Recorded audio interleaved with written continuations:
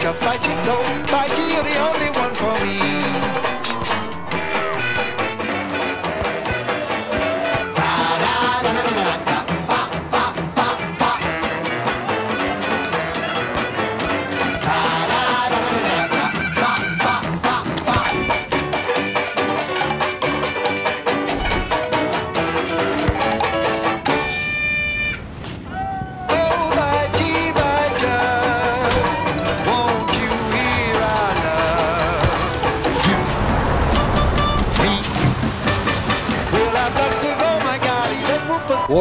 2014. Witamy bardzo serdecznie. Mateusz Walczak. i Leszek Sokołowski. Witamy Państwa ze stadionu, jakże nam przychylnego, jakże przyjaznego w Gorzowie Wielkopolskim. Stadionu oczywiście Silonu Gorzów przy ulicy Olimpijskiej czy Myśliborskiej? Olimpijskiej i Myśliborskiej. Olimpijskiej i Myśliborskiej.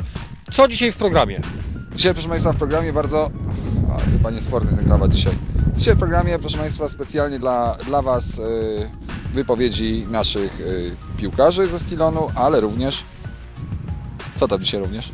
Ale również dużo niespodzianek. Zobaczymy jak w piłkę grają młodzi adepci piłki nożnej, niekoniecznie z Polski, ale e, ci e, z Brazylii. Dużo muzyki też oczywiście. Brazylijczyków nawet? Nagrałem Brazylijczyków, słuchaj.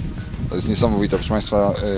y, Mateusz ma takie wejścia. Ja natomiast przygotowałem dla Państwa coś specjalnego, bo ranking, e, tak jak wszędzie robi się zawsze rankingi, tak my postanowiliśmy zrobić ranking dotyczący najlepszych e, asystentów i najlepszych e, obrońców e, tego mundialu. Mamy już pierwsze e, nominacje. O tym za chwilę. Na początek zobaczmy skróty spotkania, który otwierał mundial w 2014 roku. Brazylia, Chorwacja. والهجمه ليفيكا اونيتش كرواتيا بالاساس يساريه لاونيتش يوسع جول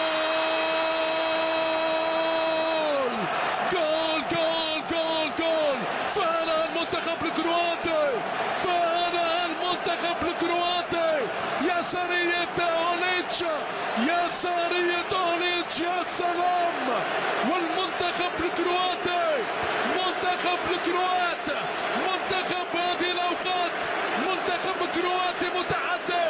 مارتشيلو بالنيران الصديقه مارتشيلو بنيران أونيتش يكتوي جوليو سيزار بيسارية مارتشيلو. في قلب ساو باولو يعذب كرواتيا منتخب السنساو شر تعذيب منتخب عنيد منتخب عتيد. الليلة عنده أمام هذا الدفاع الكرواتي نيمار نيمار يسدد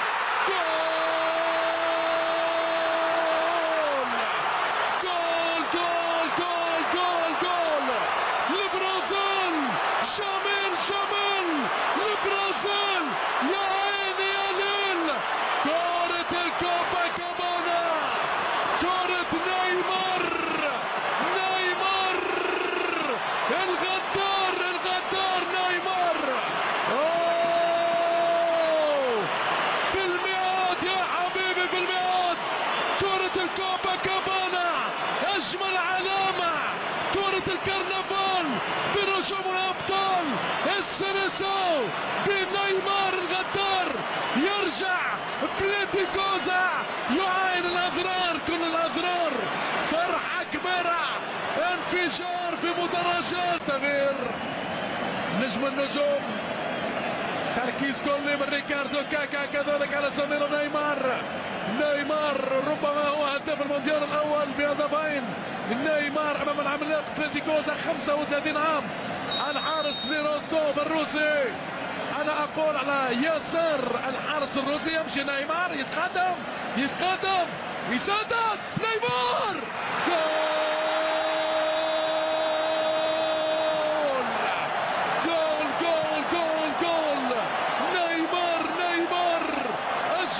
مشوار أجمل مشوار. كرة كوبا كابانا بكل الكرنفال. كرة كوبا كابانا عند نجوم الأبطال في السنساو نيمار بهدفين يتصدر لائحة الهدفين. نيمار نيمار القدير نيمار الجميل في برازيل في هذا الليل. يلعب الكرة من أجل الانتصار في هذا المشوار. الكاريوكا جماهير العشق الكروي رغم المحاولة بالتصدي من بليتيكوزا لكنه لم يوفق ويأتي هدف ثاني. كرة مودريتش في الدقيقة 86 نلعب الوقت بدل الضايع مشاهدينا الكرام!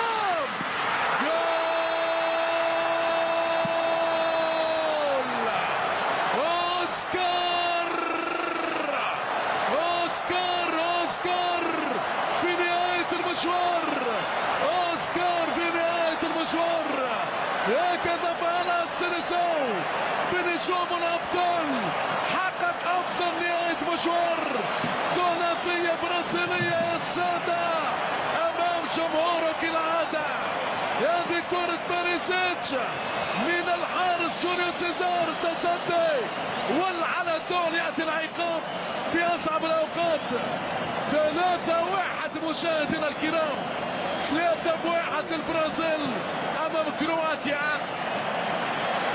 نهاية الأحلام لمنتخب كرواتيا يمينية يا السلام Brazylia, Chorwacja 3 do 1. Wynik wydrukowany. To, że jest wydrukowany wynik, to e, możemy się tylko i wyłącznie domyślać. Natomiast ja mam dla Ciebie propozycję. Widziałeś kiedyś Neymara na żywo? Nie, ale podejrzewam, że nie jedna Brazylijka chciałaby mu strzelić gola. Uważaj, patrz na mnie teraz. Czekaj, przewsy mikrofon. Jak? No tak trochę, podobny. No, musiałbym jeszcze trochę popracować nad tym. Tak, tak, to będziemy nad tym y, pracować. 3 do 1. Posłuchajmy, jak analizuje to spotkanie Artur Andruszczak, trener juniorów starszych, który notabene awansował ze swoimi podobiecznymi do Centralnej Ligi Juniorów. Obok mnie Artur Andruszczak, rozmawiamy o Mistrzostwach Świata. Za nami y, mecz, który odbył się w czwartek, mecz otwarcia, Brazylia, Chorwacja. Artur, no wszyscy mówią, że mecz taki trochę wydrukowany. 3 do 1, ale tego karnego nie było, no i wynik mógłby być różny. Tak, y, na pewno rzut karny nie należał się dla drużyny Brazylii. I trzecia bramka też w środku była strata taka schowa, myślę, że też tam mógł być fal. Bardzo dobre widowisko, ciekawe. Mm, Ja tro, trochę teraz inaczej już mm, patrzę na te mecze niż kiedyś. Kiedyś jako kibic, teraz już jako trener przyglądam się tak, taktyce zespołu. Zespołu Brazylia grała tak jak i Chorwacja systemem 4-2-3-1, ale na przykład Chorwaci taka ciekawostka, że mm, w obronie w średnim pressingu i niskim grali systemy 4-4-2. Przyglądam się też stałym fragmentom gry, jak drużyna broni przy rzutach rożnych, czyli obydwie drużyny wczoraj broniły każdy swego, nie strefowo. Również oglądam, jak są rozwiązywane te stałe fragmenty gry. Raczej wszystkie, wczor- wczoraj było tylko jedno rozegranie takie niekonwencjonalne, gdzie było zagranie kró- krótkie na krótki słupek i jeden z zawodników mm, po zwodzie poszedł w stronę, w stronę linii i próbował dośrodkowywać, a tak wszystkie dośrodkowania bezpośrednie były mocne, bite na, na, na krótki słupek. Czy tą wiedzę, którą mm, nabywasz oglądając właśnie takie mecze, przekazujesz też y, swoim młodym podopiecznym? Yy, może nie bezpośrednio, to jest wiedza dla mnie i staram się mm, wyciągać wnioski i, i przenosić to na, na pracę swoją. No na pewno nie da się wszystkiego, ale po analizie można pew- pewne sprawy przenieść tutaj na własne podwórko. Czy po tym pierwszym meczu możemy coś powiedzieć o y, Brazylii, bo to gospodarz y, Mistrzostw y, Świata? Czy to jest silna drużyna? Bo jak popatrzymy na nazwiska, ja mam takie wrażenie, że z mundialu na mundial tam po prostu skład się zmienia, cała jedenastka zupełnie inna. Brazylijczycy w ogóle produkują tych piłkarzy nie, niesamowitych. Czy to jest silna drużyna Twoim zdaniem? Na pewno gospodarz Brazylia zawsze jest w gronie faworytów, jaka by, jakie, jacy by zawodnicy nie grali. Mm, I trzeba właśnie patrzeć przez ten pryzmat, że jest gospodarzem i na pewno będzie Brazylia liczyła się do końca. Kto jest faworytem Twoim zdaniem na Mistrzostwach Świata w Brazylii? Znaczy nie chcę mówić o faworycie, kto, kto wygra.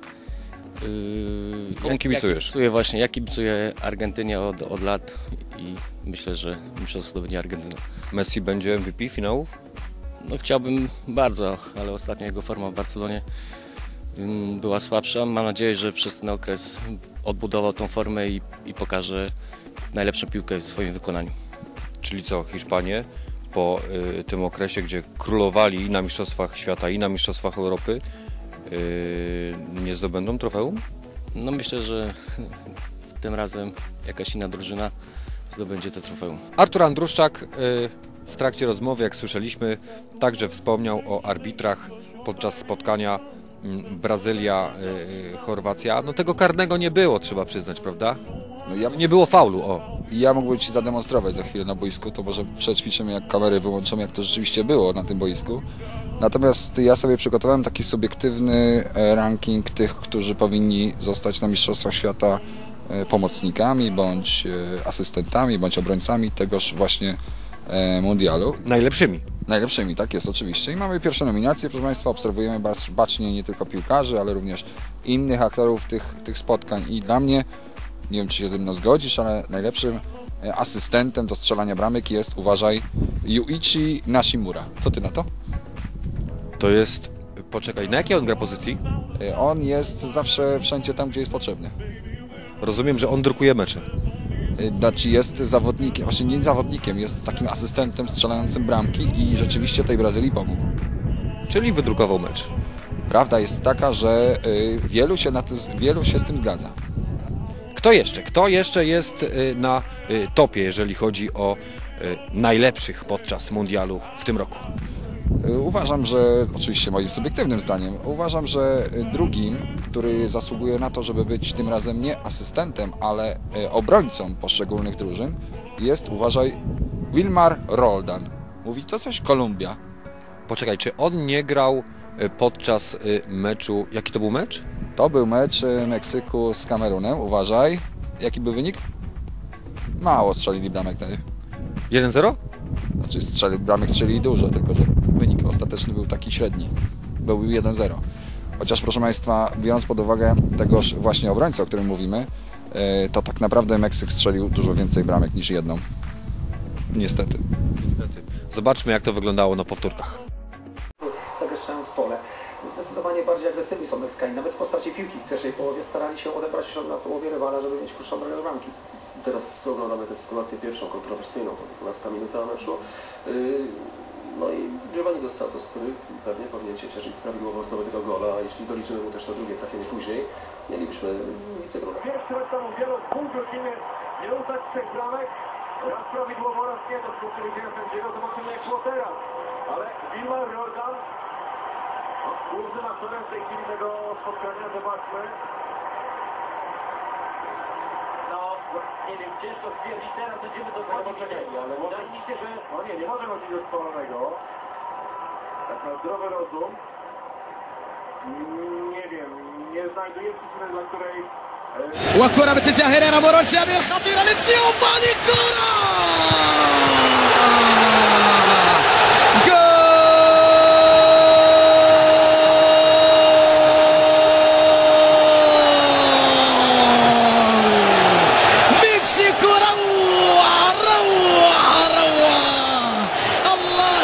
جيوفاني والله يا بيرالتا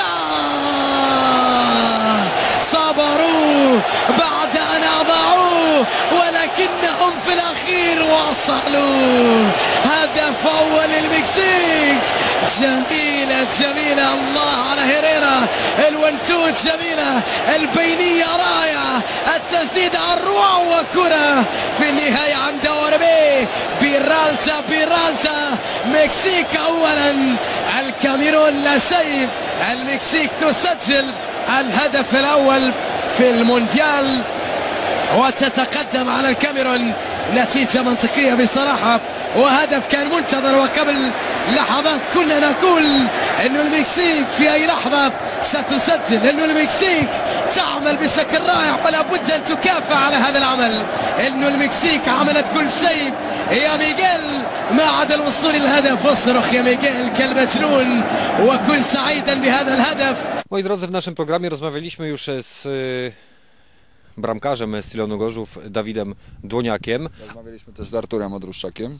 Rozmawialiśmy z Arturem Andruszczakiem. Za chwilę będziemy rozmawiali z Robertem Koziołą, ale to za chwilę, bo mamy dla Dawida Dłoniaka prezent. Y, Ale nie wiem, teraz już dajemy ten prezent, czy później? Wiesz co, na deser sobie zostawmy ten, e, bo akurat z deserem on się łączy. Akurat z deserem on się łączy. Dobrze, posłuchajmy, m, bo ty rozmawiałeś e, z Robertem Koziołą. Jak Robert Kozioła, mm, co myśli Robert Kozioła o Mistrzostwach e, Świata, e, o faworytach, e, o, o, o drużynach, które przegrają te mistrzostwa? O czym z nim rozmawiałeś? Ja pamiętam, że, że zapomniałem go zapytać o jedną rzecz. Zapomniałem go zapytać o, uważaj, kolejnego asystenta w tych mistrzostwach, czyli pana Nicole Rizzoliego. Kojarzysz?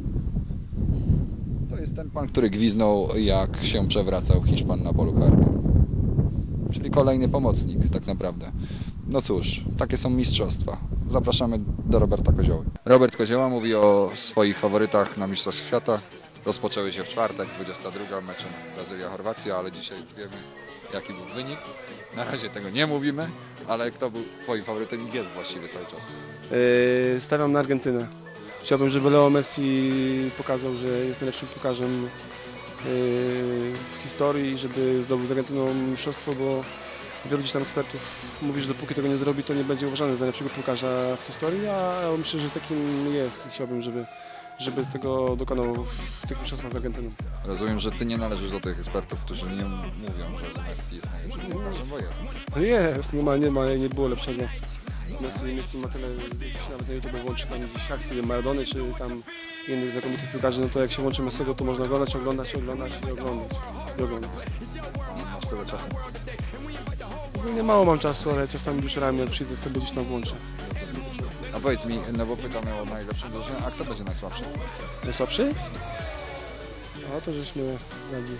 No są takie, wiesz, słabe drużyny jak na przykład Niemcy, Nie, no Niemcy będą pełno groźni jak zawsze. Hiszpania też jest taka. E, kto, kto zawiezie? Bo kto zawiedzie z tych głównych? Myślę, że Holandia by, będzie takim zespołem, która, która gdzieś tam chyba nie, nie, nie, nie zrobi takich e, wyników, jak gdzieś tam się ich kibice pewnie spodziewają. Myślę, że mają dużo słabszy skład niż, niż, niż e, mieli zawsze, a chociaż różnie to bywa, nie? Może ktoś tam się objawi, jakieś nowe twarze, nowe, nowe gwiazdy.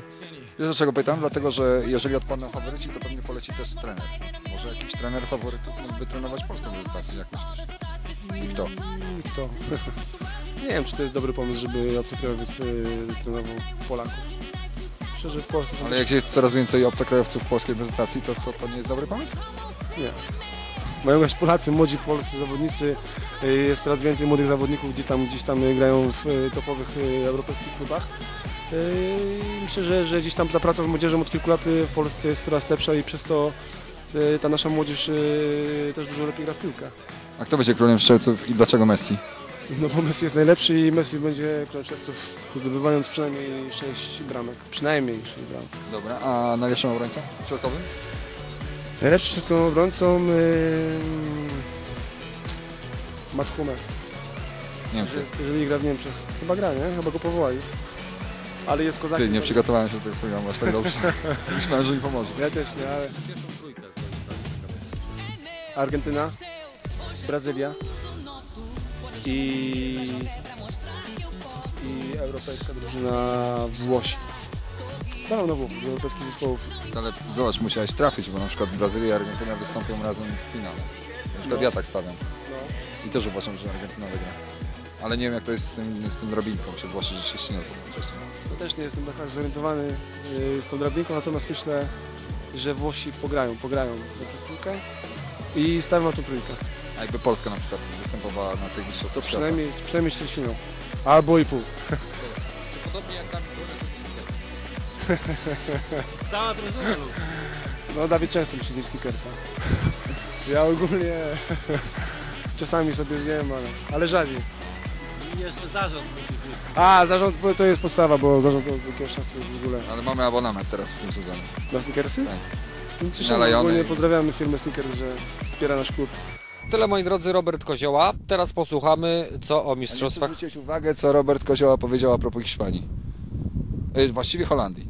Tak, Holandii, Holandii, tak. Robert Kozioła powiedział, że Holandia wszystko przegra. O, proszę Państwa, no, Ro- Robert Kozioła wytypował y, niesamowicie. Proszę Państwa, uznał, że Holendrzy są po prostu tak fatalni i tak słabi y, i tak nie nadają się do niczego, że właściwie z grupy nie wyjdą. A tu? A tu proszę, 5 do 1. Nie wiem, czy wiesz, Robert Kozioła, Robert Kozioła w trakcie meczu, kiedy było już 3 do 1, napisał mi SMS-a, abyśmy powycinali to, co on mówił o, o Holandii, bo jakby miał grać u Buka, to on by przegrał chyba wszystkie pieniądze. Oczywiście nie zrobiliśmy tego, bo wiadomo, że jesteśmy y, portalem, właściwie y, stroną, która nic nie wycina, zawsze wszystko puszcza tak jak trzeba. Nawet to, y, że się mylimy, też puszczamy. Aha, to, teraz, to teraz trener Tomasz Jerz. Mistrzostwa Świata rozpoczęły się w czwartek meczem Brazylia-Chorwacja, a pan dla pana i kto jest y, faworytem?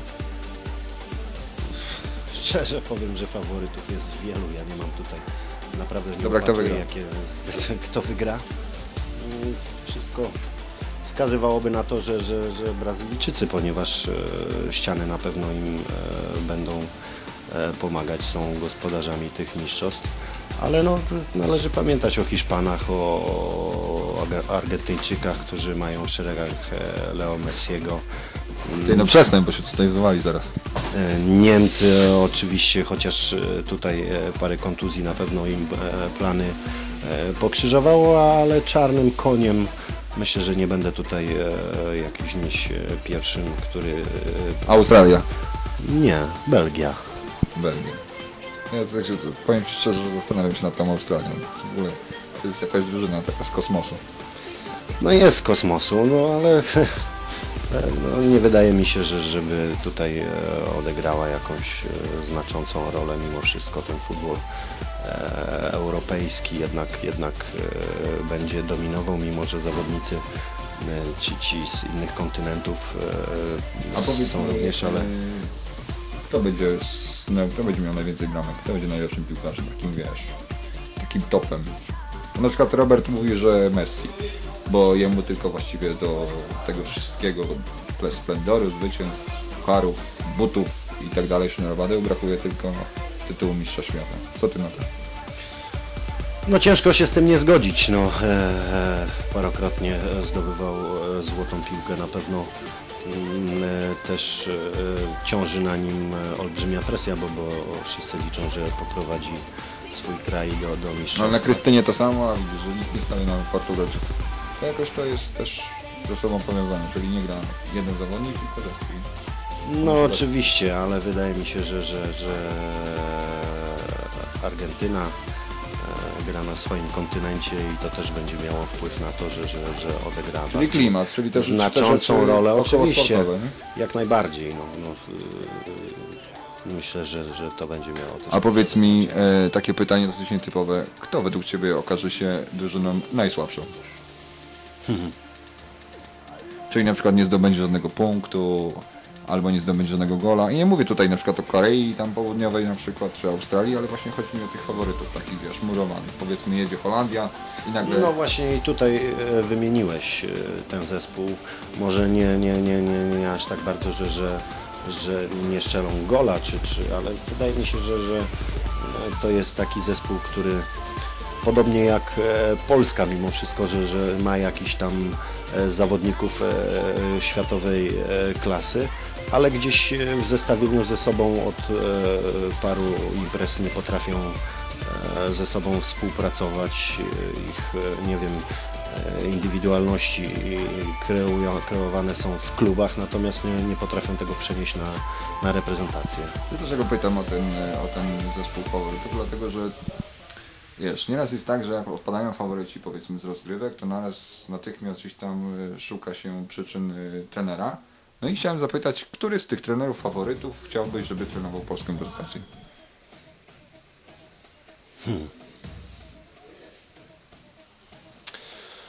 Biorąc Dawid, pod- powiedział, Dawid powiedział Joachim Lew. I też się zgodzę z tym, dlatego że, że zna tu środkowoeuropejskie realia. To, to, to, to tutaj e, e, trener reprezentacji ma o tyle dobrze i niedobrze, że, że e, musi, musi i oprócz tego, że, że ma e, zawodników, ma kadrę, ale musi też odnaleźć się w pewnych e, realiach. Tutaj myślę, że, że, że sąsiedzi akurat e, zamiedzy E, na nich zresztą też e, staramy się w jakiś sposób wiesz, wzorować. Wiesz Tomek, kogo wymienił, kogo wymienił Jacek? No nie mam pojęcia. Ciebie. Wygramy ten mecz, wygramy z Holandią. Holandia zostanie pokonana, Hiszpania zostanie mistrzem świata, a ja Iker. będę najlepszym Iker. piłkarzem na świecie. Iker, zjedz Snickersa, bo gwiazdorzysz. Zjadłeś? Zjadłem. Lepiej? Zdecydowanie lepiej. Tym oto miłym akcentem dziękujemy Ikerowi i dziękujemy Państwu. Do zobaczenia w następnym odcinku.